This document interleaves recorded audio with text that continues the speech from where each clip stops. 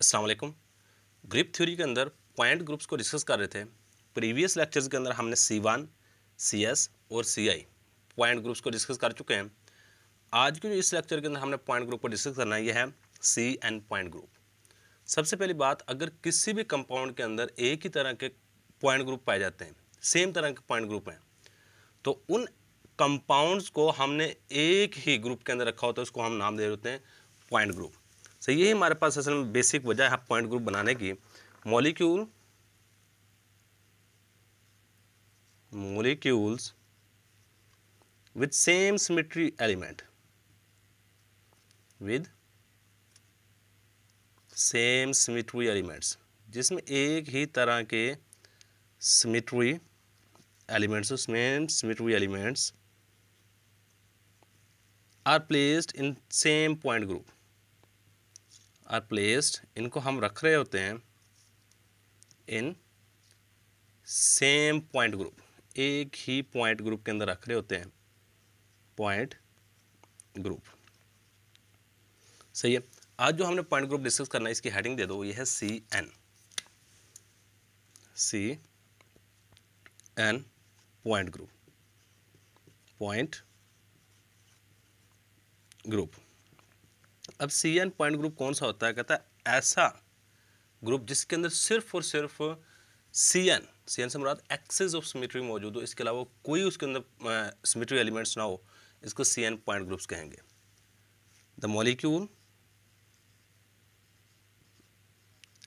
ऐसा molecule which contain जो रखे विच कॉन्टेन ओनली सिर्फ़ और सिर्फ़ रखे, कौन सी चीज़ रखे?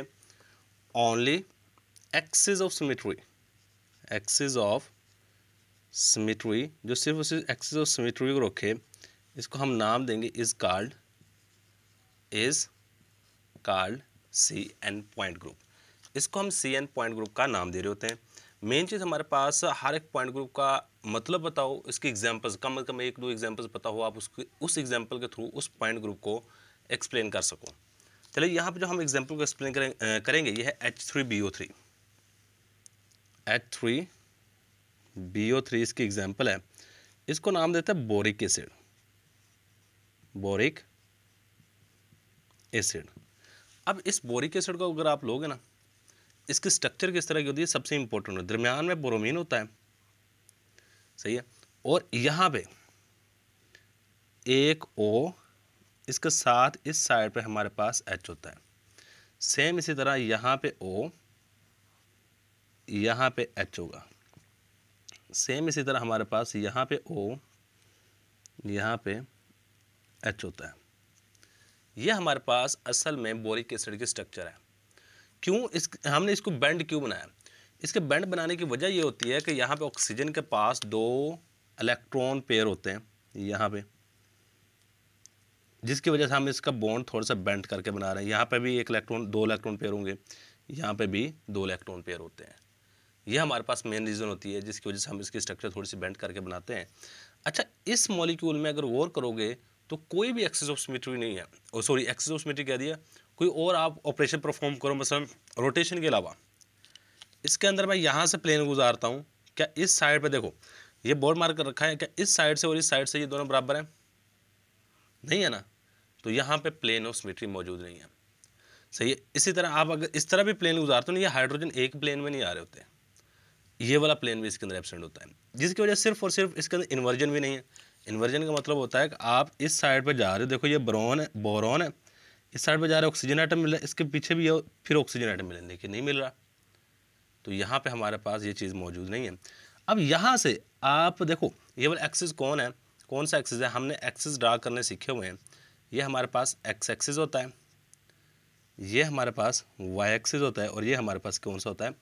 जी एक्सेस अगर मैं इस कंपाउंड को जी एक्सेस के अलोंग रोटेट करूँ तो ये हमारे पास एक्सिस ऑफ़ सिमेट्री इसके अंदर मौजूद है। मतलब इसको मैं अगर 120 डिग्री रोटेट करता हूँ 120 डिग्री किसके अलोंग जी एक्सिस के। तो ये हमारे पास मॉलिक्यूल की स्ट्रक्चर दोबारा फिर ये मैं इसको वन नाम देता हूँ, इस ऑक्सीजन को, इसको टू दे देता हूँ, इसको थ्री दे देता हूँ। जैसे आप रोटेट करोगे तो हमारे पास रोटेट करने के बाद ये थ्री वाला आपका ऑक्सीजन यहाँ पे चला जाएगा। सही है? टू वाला ऑक्सीजन आपका यहाँ पे आ जाएगा। ये वाला। ये वन वाला आपका यहाँ पे मूव कर जाएगा वन ट्वेंटी डिग्री रोटेट करने के बाद। और टू वाला ऑक्सीजन आइटम आपका यहाँ पे चला जाएगा वन ट्वेंटी डिग्री रोटेशन के बाद। और आपको पता है, यहाँ पर अगर मैं निकालना चाहूँ जी एक्सिस का लॉन्ग रोटेशन करवाई है वन ट्वेंटी डिग्री रोटेशन कराई है इसलिए हम इसके एन की वैल्यू अगर निकालेंगे तो three sixty divided by theta three sixty कितना है हमारे पास?